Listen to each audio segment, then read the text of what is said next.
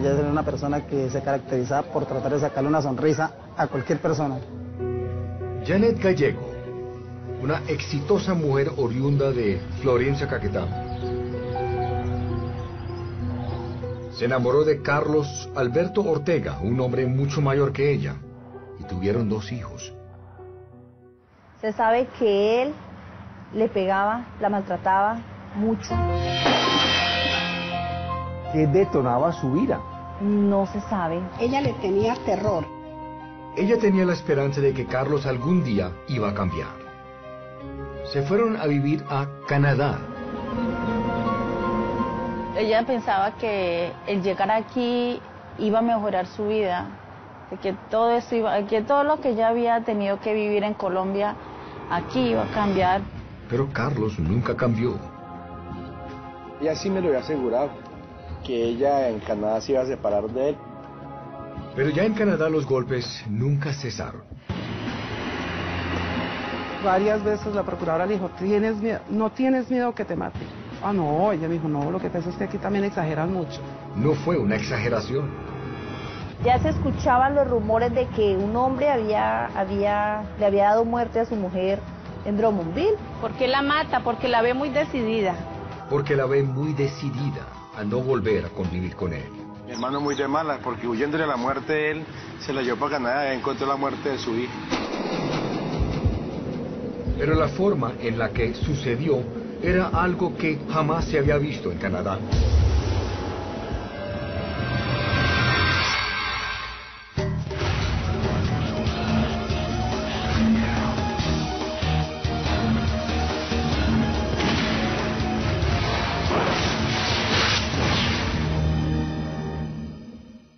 Noches.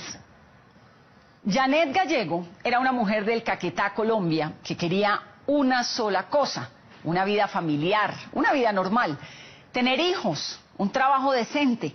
Incluso quería vivir en otro país y un buen día lo logró. Pero primero tenía que conseguir un esposo. Pero su capacidad de escoger a un hombre no era la mejor.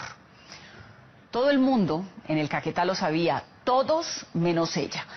Por fin lo identificó y desde un principio era evidente que se había equivocado. Pero tenía una esperanza, creer que era capaz de cambiarlo llevándolo lejos, muy lejos de Caquetá. Era una apuesta riesgosa, pero lo hizo. Esta noche, Manuel Teodoro les trae una historia de amor que comienza como todas, bonita. Se desenvuelve entre dos países y termina mal, muy mal. Aquí comienza cargando con mis demonios.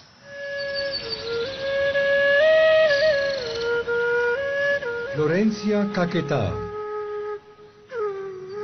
Este hermoso lugar con magníficos paisajes naturales es el telón de fondo de la historia de un amor, un amor posesivo, un amor engendrado por los celos, un amor malsano que terminó en tragedia.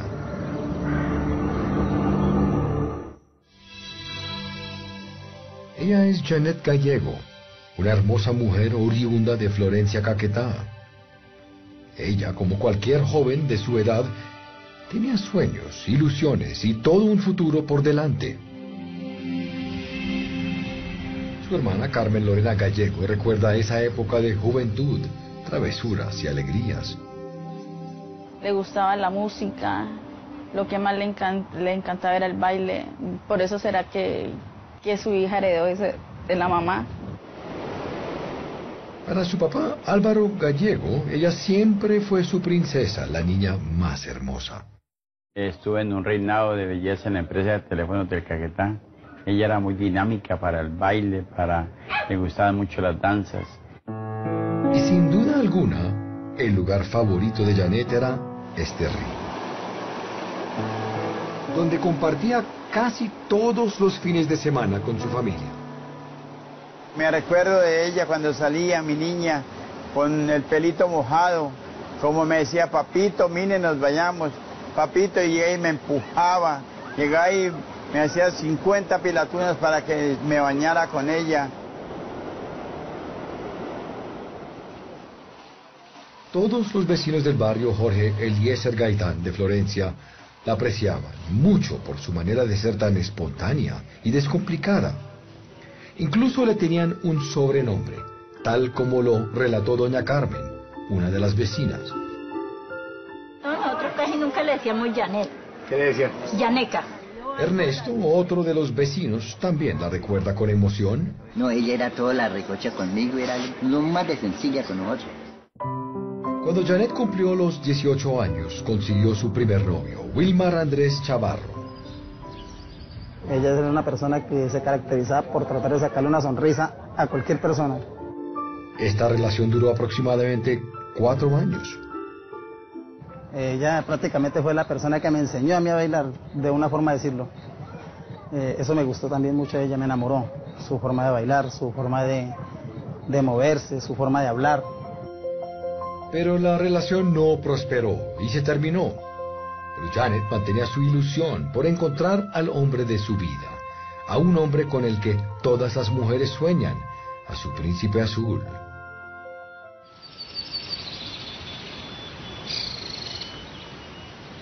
Mami, Janet está saliendo con un señor.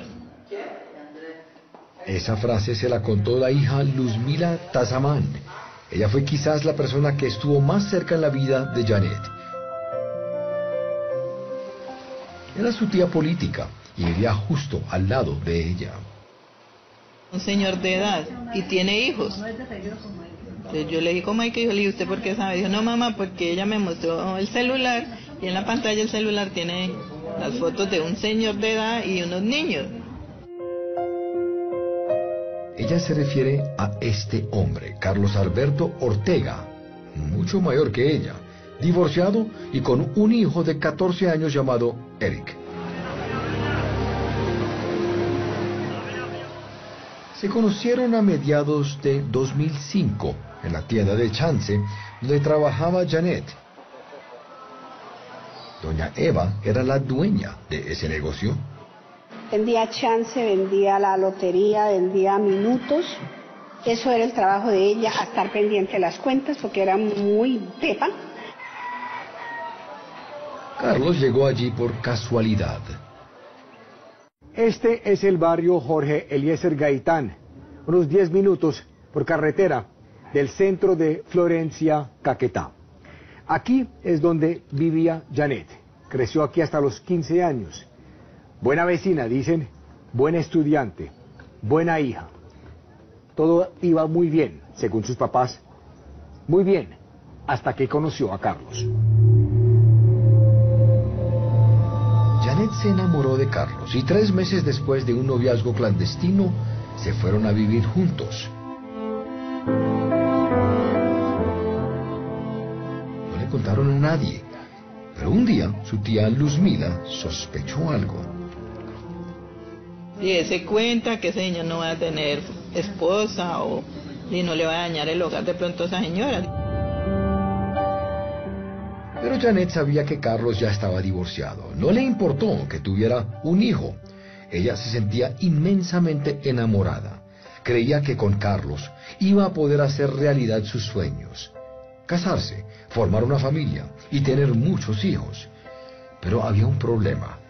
Él no.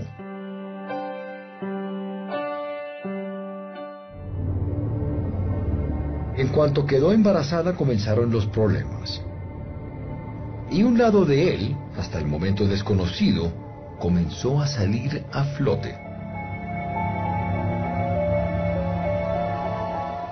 El problema es que Carlos empezó a golpear con bastante frecuencia a Janet. Por eso la sonrisa que todos conocieron de Janet nunca más la volvieron a ver desde que conoció a Carlos. Siempre hablábamos en el andén, porque a él no le gustaba que nadie fuera a la casa, ni familia ni nada.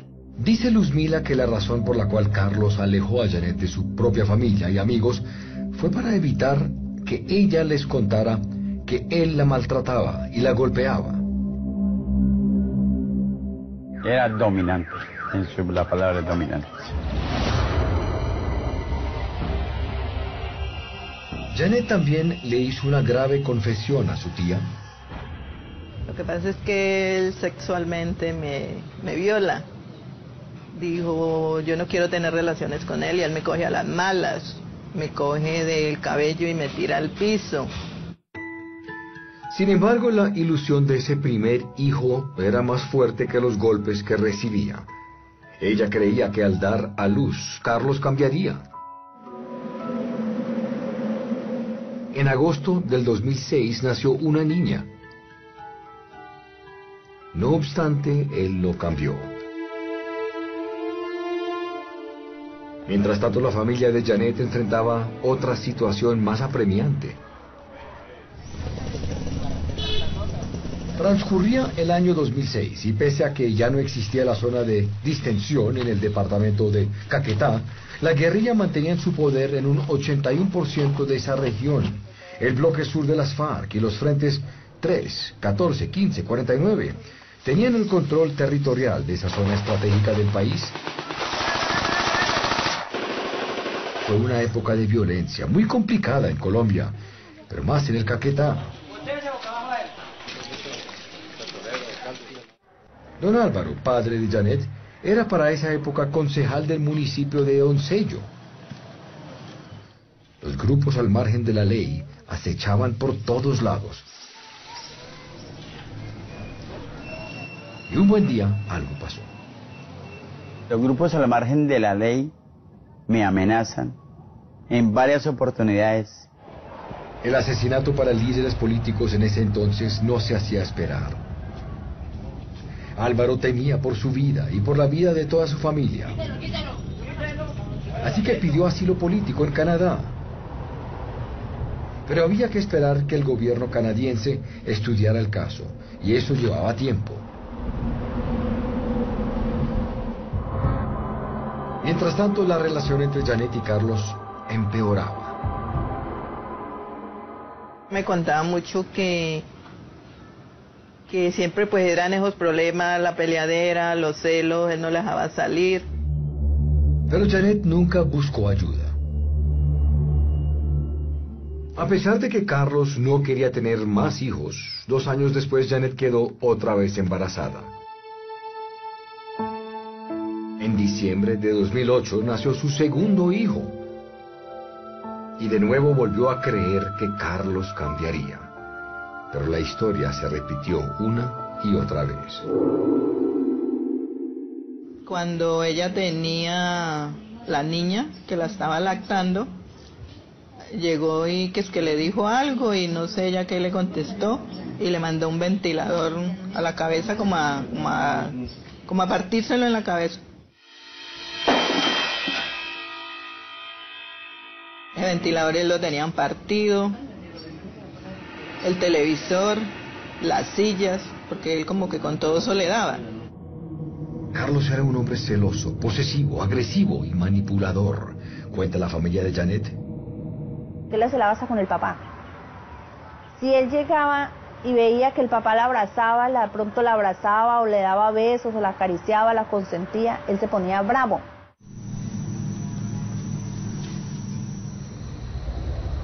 Para el año 2008 ya todo el mundo notaba y sabía, como un secreto a voces, que Janet era maltratada físicamente y psicológicamente también por su esposo. Cada vez el mal humor de Carlos empeoraba. No la dejaba hablar con nadie, no la dejaba salir. Incluso la obligó a dejar de trabajar en la oficina de chance de doña Eva que si no hacía caso lo que era, si no salía con él, la picaba, era la palabra que él es que decía, que la picaba.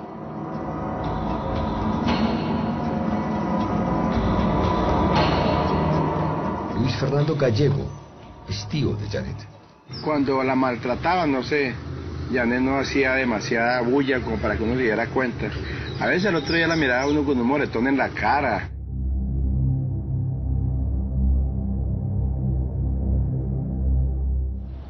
A mediados de 2009 llegó la noticia que la familia Gallego tanto estaba esperando. Habían sido aceptados como refugiados políticos en Canadá. Cuando le contó a Janet, ella se llenó de alegría y pensó que tal vez esa sería su oportunidad de poder dejar a Carlos e irse a miles de kilómetros de distancia con sus dos hijos.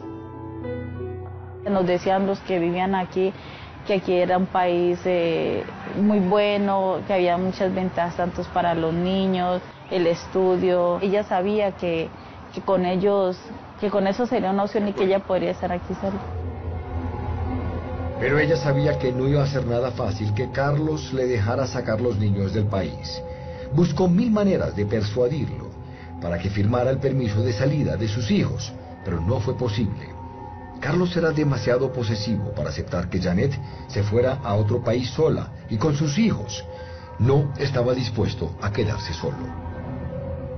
Para ella lo más importante eran sus hijos y sabía que para poder sacar los niños del país debería contar con la autorización de él y ella sabía que él nunca se la, se la podría dar.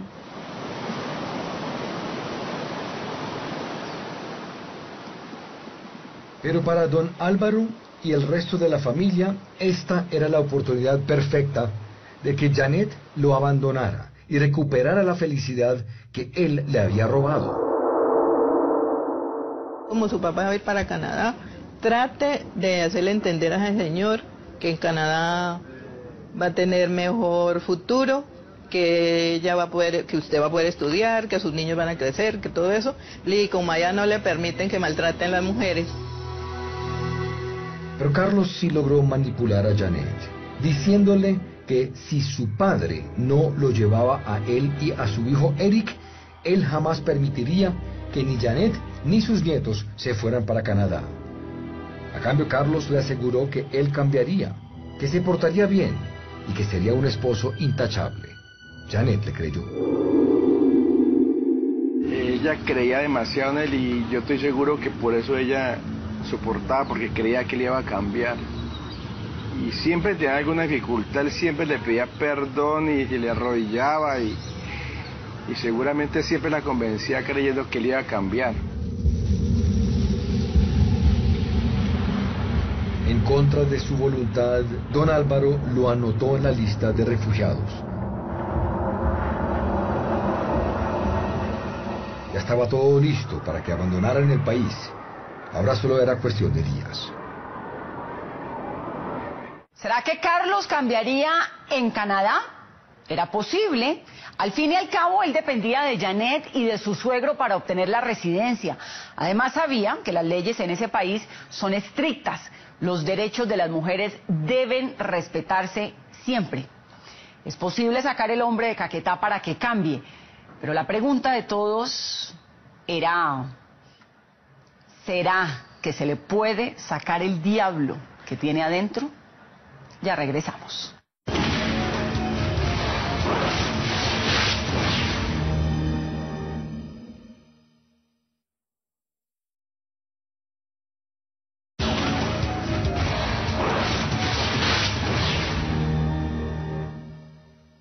Todo estaba listo para el viaje a Canadá. Todos tenían la esperanza de que allí Carlos cambiaría, que los demonios que tenía adentro se quedarían en Colombia.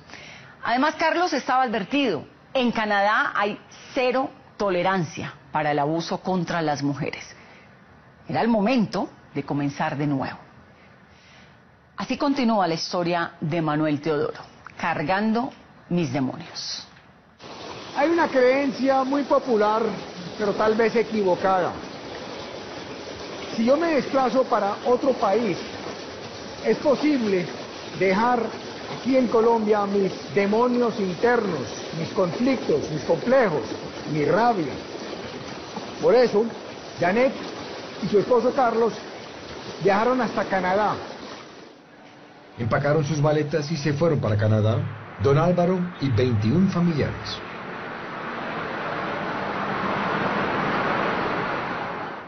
Santiazán es el lindo nombre de este pequeño pueblo que queda unos 40 minutos al norte de Montreal por carretera.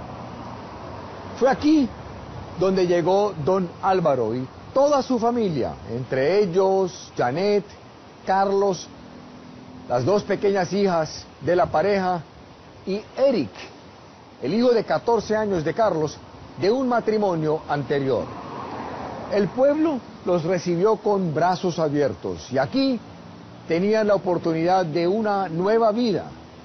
Pero para lograrla Carlos tendría que despojarse de unos viejos hábitos. Ella pensaba que el llegar aquí iba a mejorar su vida, que todo eso iba, que todo lo que ella había tenido que vivir en Colombia aquí iba a cambiar. Incluso que él cambiaría. De pronto esa sería su esperanza. Todo parecía color de rosa, una nueva vida. Así lo pensaba Janet, quien sabía que en ese país sí iba a poder ser respetada por su esposo. Marta Nieto es tía de Janet y también vive en Canadá.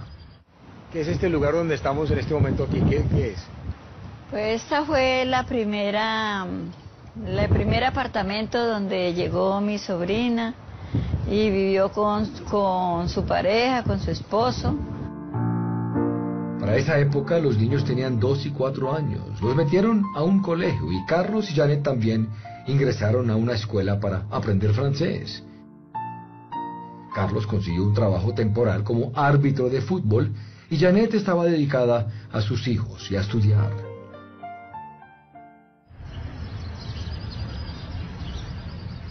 Nadia Nieto es su prima, también vive en Canadá. A Carlos lo vine a conocer aquí en Canadá. Me pareció un buen señor. Esa fue la impresión de muchos al conocer a Carlos. Lo mismo dijo el esposo de Nadia, Juan Pablo Obando, quien aprovechó para advertirle sobre las leyes en Canadá. Tuvimos mucho tiempo para hablar.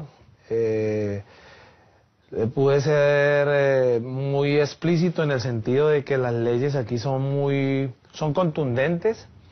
La protección a los niños, la protección a las mujeres, sobre todo la protección a las mujeres. Aquí por cualquier evento, si yo de pronto trato mal a mi mujer verbalmente o psicológicamente la trato mal, yo voy a tener que pagar unas consecuencias. Por un tiempo la relación entre Carlos y Janet iba aparentemente bien. Empezaron a ir a la iglesia y todo muy bien. En los primeros seis meses fue un ejemplo de hombre con ella. Hasta que llegó el 23 de diciembre de ese mismo año. Hasta que volvió y se dañó la relación porque él volvió y la maltrató. Janet llamó de inmediato a la línea de emergencias 911. Ella sabía que las autoridades acudirían de inmediato y le brindarían protección y ayuda. Ella la sacó la policía del apartamento con la boca reventada, con la cara reventada. La sacó la policía de allí, se la llevaron a ella y a los niños. Fue algo de pronto un golpe muy duro para ella.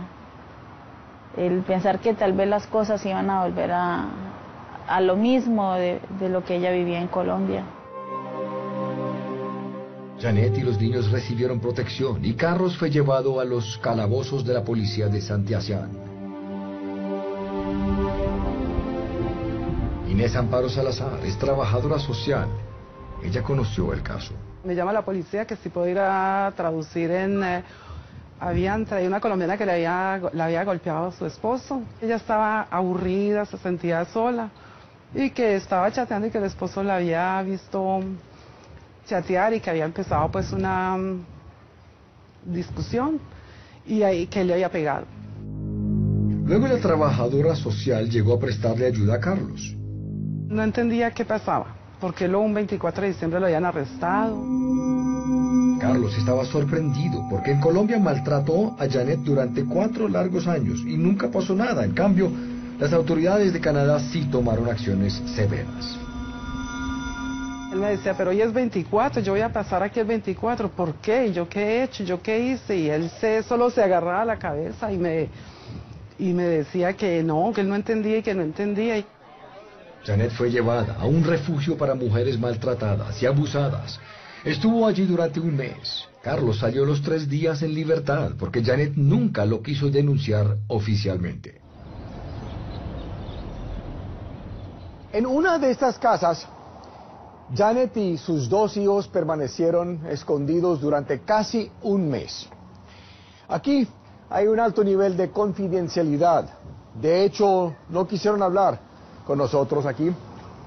Pero lo que sí sabemos es que sus administradores aconsejaron a Janet formular cargos penales contra su esposo Carlos. De esa forma, las autoridades locales aquí en Drummondville hubieran podido justificar una orden de arresto. Pero por razones que nadie entiende, Janet no quiso hacerlo. A mediados de enero del 2010, coincidencialmente se encontró con Carlos en el mismo lugar donde ambos estaban tramitando la licencia de conducción. Ese día Carlos le dijo lo que siempre acostumbraba a Janet, que la amaba, que lo perdonara, que él cambiaría y que jamás lo volvería a hacer. Pues ella decía que ella le da mucho pesar de los niños, dejar los niños sin papá. Pero yo le decía, mire Janet, en este país todo se puede.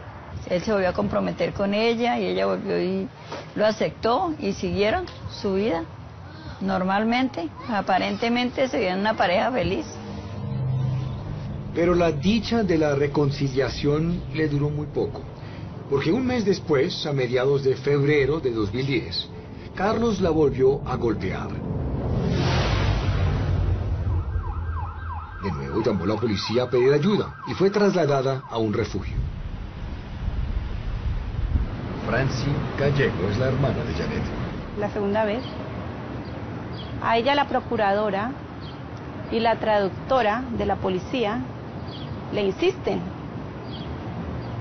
que formule cargos. Ella dice que no, que no quiere dañar su hoja de vida en Canadá, que no quiere dañar su posible ciudadanía canadiense. Janet lo quería abandonar sin causarle daño. Ella tuvo la oportunidad en ese momento de firmar un documento donde lo acusaba oficialmente. La policía hubiera podido ponerle una caución a Carlos, pero ella no lo hizo. Y varias veces la procuradora le dijo, ¿Tienes miedo? ¿no tienes miedo que te mate? Ah, no, ella me dijo, no, lo que pasa es que aquí también exageran mucho. Hubiera acusado, lo hubieran detenido. Exactamente, porque eso era lo que iban a hacer. O lo iban a deportar también. Una semana después, el 9 de marzo de 2010, Carlos la llamó con el fin de ponerle una cita. Él tenía la custodia de sus hijos ese fin de semana y se los iba a devolver ese día a Janet. Yo la noté a ella como nerviosa, como, como no sé, ella me habló de una forma que yo recuerdo tanto esas palabras y me duelen, y me duelen mucho. Esta es la iglesia evangélica La Plenitud de Dios en el pueblo de Drummondville, Quebec, un sitio donde la pareja venía con mucha frecuencia para orar. Según testigos, ese fatídico sábado sobre las 10 de la mañana, Janet venía caminando desde la iglesia hacia su automóvil que estaba estacionado más o menos donde está este automóvil en este espacio. Dicen que ella ingresa al vehículo y aquí estaba sentado Carlos. Atrás estaban sus dos niños. Hubo una discusión bastante acalorada en ese momento sobre el destino de la pareja, el futuro de sus hijos, y que de buenas a primeras, Carlos saca un cuchillo bastante grande y le propina no menos de 10 puñaladas sobre el torso de su esposa. Es aquí, en el parqueadero de una iglesia evangélica en Quebec, lejos, muy lejos de Florencia Caquetá, donde termina la vida de la joven quien es conocida en su barrio simplemente como Janeca.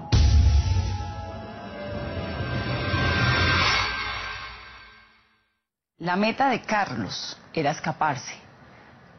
¿Pero para dónde? Estaba en un país extranjero, su dominio del francés era limitado, sus hijos habían sido testigos del crimen y sin duda serían interrogados por las autoridades. El desenlace de este drama cuando regresemos.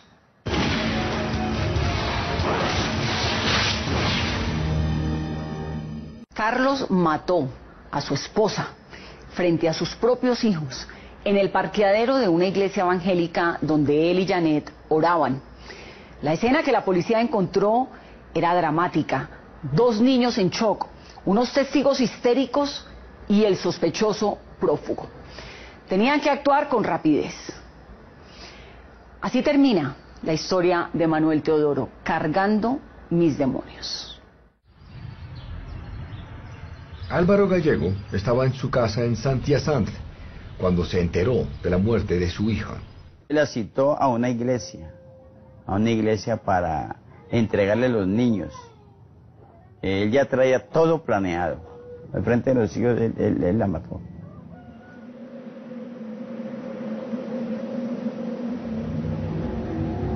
Mientras Carlos le propinaba las puñaladas, fueron llegando varias personas al lugar. Uno de ellos llamó a la policía. Alan Lasser fue el investigador del crimen. Dice que la primera persona que salió fue el testigo del crimen, la amiga de Janet, quien le relató lo sucedido. Janet salió del vehículo para ir al encuentro de Carlos. La amiga de Janet se quedó en el vehículo para asegurarse de que todo estuviera bien. Durante unos instantes la perdió de vista y cuando finalmente la volvió a ver, Janet estaba en el piso y Carlos le estaba clavando el cuchillo. Carlos decide abandonar sus dos hijos en el carro que estaba parqueado más o menos donde está este. Se retira del automóvil y se dirige por este camino hacia este bosque, la parte trasera del centro evangélico. La idea era meterse en este río, lo que efectivamente hizo para nadar hacia esa dirección. Es imposible saber qué estaba pensando Carlos en ese momento y si realmente creía que hubiera podido ser posible escaparse, teniendo en cuenta que era inevitable una intensa búsqueda por parte de las autoridades locales. En total le propinó 22 puñaladas en la cara, manos, espalda y en general en todo su cuerpo, y al final la degolló. La policía no tardó en llegar. La captura se produjo minutos después en un centro comercial donde Carlos estaba escondido. Ellos pudieron hacer seguimiento de las informaciones que se les dio, así como la descripción de la persona que es Carlos. Un policía, muy prevenido, entró al supermercado y comenzó a caminar a través de los pasillos del supermercado. En cierto momento él se encontró con un individuo y luego él lo detuvo, efectivamente. Él preguntó su nombre. Este no se identificó como Carlos. Pero Carlos logró levantar serias sospechas. La persona que caminaba por los pasillos tenía un semblante como de una persona latina. La chaqueta que llevaba estaba seca, pero el resto de la ropa estaba mojada. Carlos había pasado por un túnel inundado que pasa por debajo de las vías ferroviarias. Se dieron cuenta además de algunas manchas de sangre en la ropa.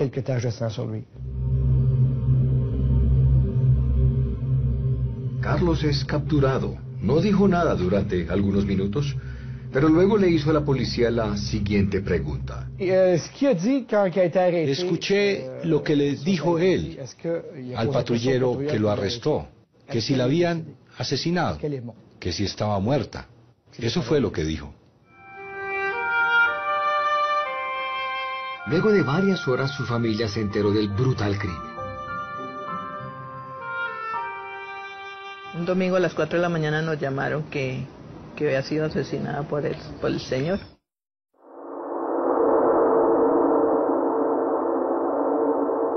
Dígame, ¿qué pasó? ¿Quién se murió? Cuando me dijo que era mi hermana.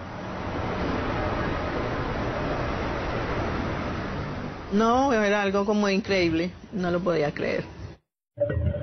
Mientras tanto, los niños fueron puestos bajo la custodia del Departamento de Infancia del Estado. Carlos es llevado de inmediato a la cárcel. Dos días después, tuvo su primer juicio ante un juez, un jurado y un traductor. Carlos permaneció callado. La principal testigo era la amiga que acompañó ese día a Janet. Ella narró todo lo sucedido. Contó que Janet le dijo que la acompañara porque no era capaz de ir sola al encuentro con Carlos, por miedo. Escuchó una discusión y luego vio como Carlos le dio varias puñaladas. Ella comenzó a gritar que no la matara. Aquí en el Palacio de Justicia o la Corte de Drummondville, la familia de Janet se encuentra cara a cara por primera vez con Carlos. Carlos demostró arrepentimiento. Incluso ante un juez lloró durante el proceso. Como Carlos allanó cargos, recibió el beneficio de un preacuerdo. Su sentencia, 25 años tras las rejas. Aquí en Canadá no hay pena de muerte. Para la familia de Janet hubo justicia y también un deseo de reparación. ¿Qué tipo de reparación? Pues querían la custodia de los dos hijos de la pareja. El problema es que había un obstáculo. ¿Se acuerdan de Eric, el hijo de Carlos? Para esa época tenía alrededor de 20 años y la custodia de sus dos medios hermanos se la otorgaron a él por tener el primer grado de consanguinidad. Pero don Álvaro, padre de Janet, esperaba que la custodia se la dieran a él, aunque para muchos solo quiere quedarse con los niños por otra razón. Más de uno pensaba que yo peleaba a los niños por la ayuda que el gobierno le da a uno. No, yo no peleo a los niños por eso. Yo peleo a los niños porque es lo único. Manuel, es lo único que me dejó mi hija.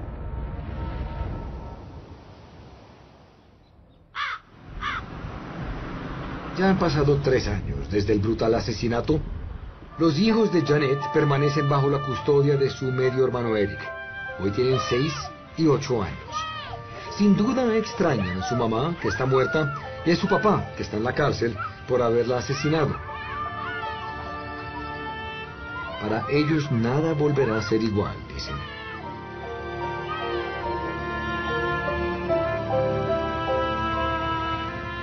Actualmente don Álvaro vive en Canadá. Hace poco regresó a Colombia de vacaciones. En Caquetá lo encontramos y le hicimos una pregunta difícil. ¿Se arrepiente?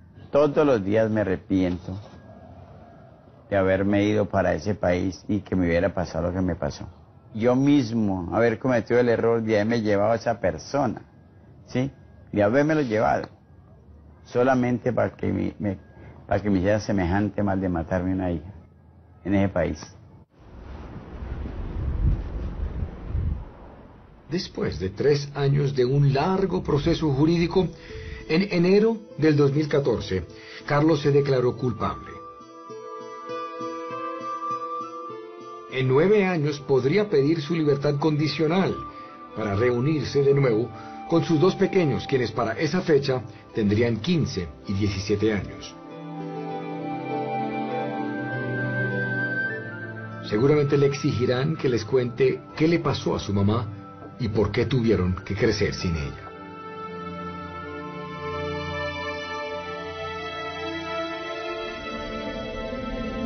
Pero eso será en muchos años. Mientras tanto, lo que queda es una lección aprendida para esta familia.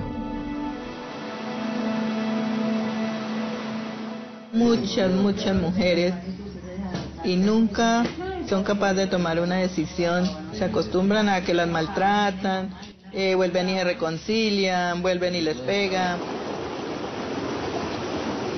El sonido del río Caquetano ha cambiado mucho desde que Janet se fue de aquí hace casi 10 años. Sus restos óseos fueron traídos a Colombia y enterrados en un cementerio no muy lejos de este río. De alguna forma, es aquí donde termina esta historia, no muy lejos y no muy distante de donde comenzó.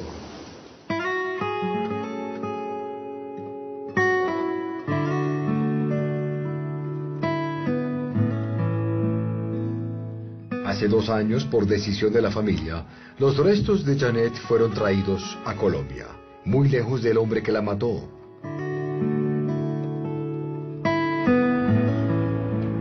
Él está en una cárcel en Canadá donde permanecerá por muchos años. Sus restos reposan en un cementerio en el Doncello Caquetá.